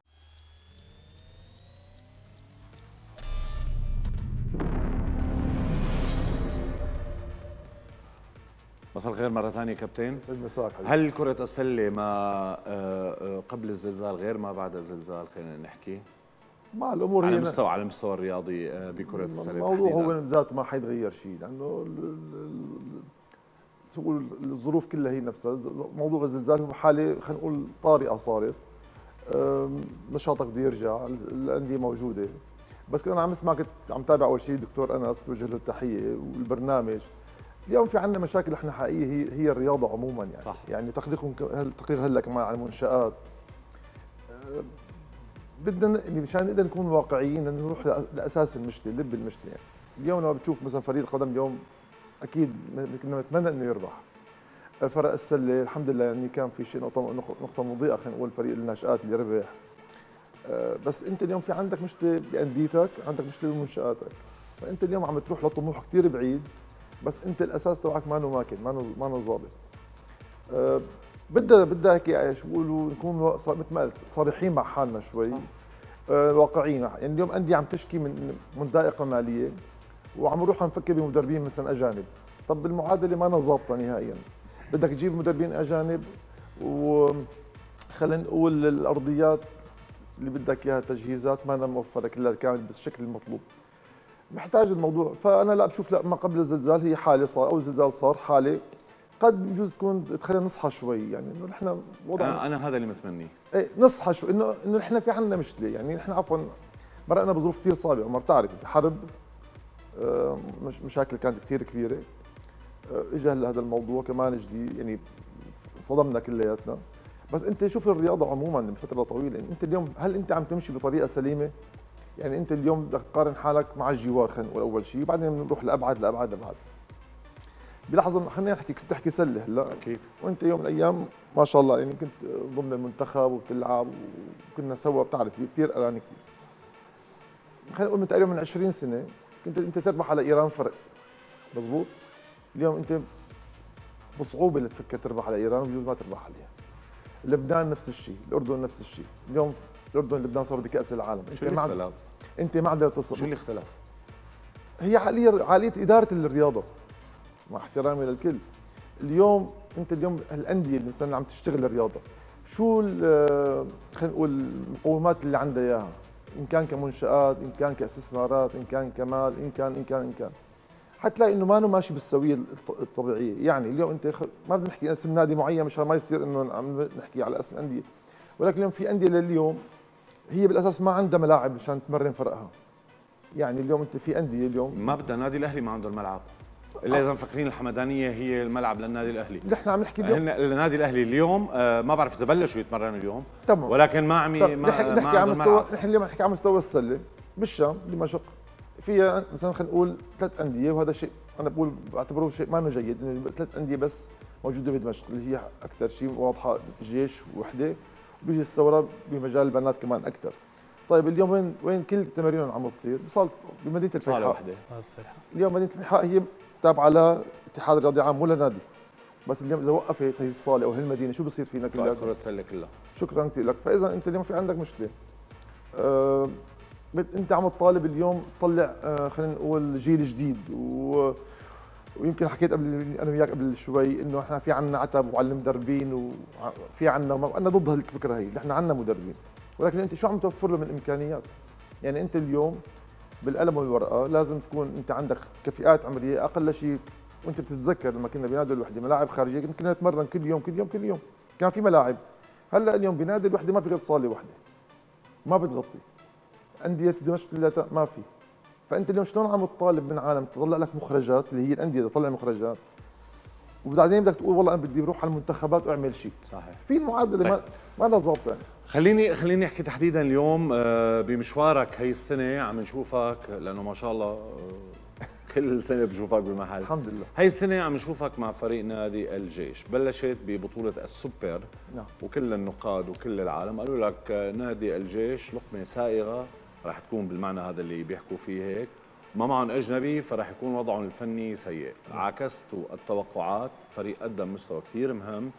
آه، الشكل الإداري والفني للفريق شباب ممتازين. انت بتعرف أنا لو عندي أي شيء نقد فورا بحكي بوشك بعرف بعرف. أنا هذا بحبه فيك. إنه دغري أنت. صريح بال آه عم يؤدي الأداء بالفريق بشكل كامل. خليني أحكي أنا اليوم في لاعبين آه، ما كنت شوفهم بالفريق. آه، يلعبوا لا اليوم عم عم يلعبوا عم ياخذوا أدوارهم.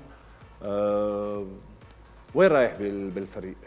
أه شوف عمر انت بتعرف بال يعني لتنجح بدك تشتغل بدك تكون يعني أه عرفان شو عم تشتغل أه أه في معلومة في نوع من من هلأ كنادي جيش هالسنة هي هي عملية متكاملة إدارية ولاعبين ومدرب يعني أو جهاز فني آه، اداريا ممثله باللواء آه، محسن. لهم تحية أكيد. تماما. آه، والعناصر الكادر معنا العقيد علي الأستاذ بشر الكادر اللي أنا معي كلياتهم الشباب كلياتهم مع مشان ما ننسى حدا من الاسماء حطينا شيء يعني نقاط واضحة. كان في تصور خلينا نقول ما كثير كان إيجابي عن الفريق لأنه نتائجه السنة الماضية ما كانت كثير جيدة والأداء ما كان جيد. فكان عندنا إحنا اول أول هدف كان هو بطولة آه، كأس السوبر اللي صار إنه نعطي فرصة للاعبين كلياتهم. شوف مستواهم تمام مع تحضير كان وقتها تقريبا شي شهر زمان إنه بعد ما نصير التقييم تبعنا. مثل ما حكيت إنه كانت العالم كلياتها آه، خلينا نقول مشككة بالفريق إنه بدون لاعب أجنبي ما ممكن تعمل شيء لا مو مشككة قالوا إنه فريق الجيش فايت على البطولة ما رح يعمل شيء تماما تمام لكن اليوم أثبتنا اليوم واليوم هذا هي النقطة بيوز أنت اليوم لما بتدرب صح لازم يطلع معك شيء صح. إذا كان طبعا عندك عناصر إحنا عم نقول لأنه في عناصر نادي الجيش اليوم يملك من عناصر خلينا نقول الخبرة والشباب اللي بتأهله إنه يكون بخطوة لقدام. وهذا اللي صار الحمد لله رب العالمين. تب... آه، آه، خلينا نقول رفعنا عدد ساعات التدريب بين صباحية ومسائية موضوع بدني هالأمور هي اللي بتعرفها كلياتها. قدرنا إنه نغير شكل الفريق وفي عناصر مثل ما قلت ما كان لها ظهور ما لها حضور. وهذا اللي أنا دائما يمكن بكل الفرق اللي بدربها يمكن بتذكر السمود حتى بالكرامة. قبله كان بالوحدة. إنه اليوم أنا بحب اعتمد على المجموعة وليس على اللاعب. طبعا ما في شك انت بهمك يكون في عندك هذا اللاعب المميز اللي ممكن بلحظات انت محتاجه يكون هو صاحب قرار يقدر عنده الجرأة إنه نجم. تماما تماما. ولكن انت اليوم لتنجح بدك مجموعة. لأنه انت لعبتنا لعبة سريعة محتاج إنه يكون عندك آه تبديل وبين يعني آه احتياط يكون جيد. خليني إيه خليني أقطعك هون بموضوع النجوم موضوع كذا. اليوم آه، استراتيجية فريق نادي الجيش بلا أجانب. هذا الشيء رح يكمل معكم لل final four. هذا السؤال اللي بدي اعرفه أنا آسف لأنه الوقت عم ياخذنا بسرعة. بعرف كان آه بقى كم بس سؤال هي سريع هل برأيك رح يكون فريق نادي الجيش؟ الاداره كان واضح من أول الموسم نحن عندنا مجموعة من اللاعبين جيدين. نعم. وأنا كان قناعتي إنه في هالمجموعة نحن فينا نوصل لل final four إن شاء الله. نعم. بال final four رح يكون في معنا أجنبي. وهذا كان وعد من الإدارة. بال final four أجنبي واحد رح تجيبوه مبدئيا في معنا واحد. مبدئيا إذا لقينا إنه لا. اللي بيجيب واحد بيجيب اثنين. تماما لأنه حتكون أصلا مده قصيرة يعني. آه، الفريق آه، شوف حكون لك أكون صريح معك عمر. نحن حاطين target كثير واضح. السنة يعني لازم إن شاء الله طبعا هذا طموح لكل مشروع إنه يكون بالمربع الذهبي. رح رح أسألك على موضوع ال target هلأ بس بس إيه. في سؤال إيه. قبله. في سؤال كثير مهم. إيه عن جد كل السوريين. عبد الوهاب الحموي وهي القصة اللي ما كنا نعرف نخلص فيها. آه في شيء جديد عن قصة عبد الوهاب الحموي؟ هي قصه عبد الوهاب هي قصة لاعب مع نادي مع اتحاد السلة بقوانين اللي هي موجودة فيه. نادي الجيش ما نو ما نو طرف. نعم. نادي الجيش okay له رغبة باللاعب نعم. لا شك بس الرغبة ظهرت طيب. لما عبد الوهاب هو قال أنا اليوم عندي ظروفي يعني قصص. اليوم مفروض إنه عن طريق اتحاد السلة إنه يكون في حل لهي المشكلة هي. إذا انتهت فنادي الجيش طبعا أكيد يطمح إنه يكون معه أولوية أكيد. تمام. أنا بدي أعتذر منك. خلص آه، وقتنا. 90 دقيقة خلصوا بسرعة ولكن تعرف كرة القدم دائما بتاكل آه، مثل ما بيقولوا بتاكل وقت. رح تكون ضيف أكثر من مرة معنا وأنت أكيد ضيف عزيز أنا بتشرف وجودي معكم بعرف كان مدرب فريق نادي الجيش أكيد بنعتذر منك على هالوقت القصير اللي قدرنا بس ولكن كسبناك بقلب الاستوديو شكرا كابتن وبتمنى لك كل التوفيق مع فريقك. شكر لك موصول وإن شاء الله نلتقي مرة الله يسلمك يا رب. الشكر موصول كمان لكم أعزائي مشاهدين قناة سما الفضائية. 90 دقيقة خلصوا الأسبوع القادم إن شاء الله في أحاديث وضيوف رياضيين جداد. من هون لوقتها كل الحب. مشاهدينا حلقتنا اليوم خلصت. كل الشكر أكيد لضيوفنا الدكتور أنس والكابتن هيثم. بلقانا بجدد الأسبوع القادم. تصبحوا على ألف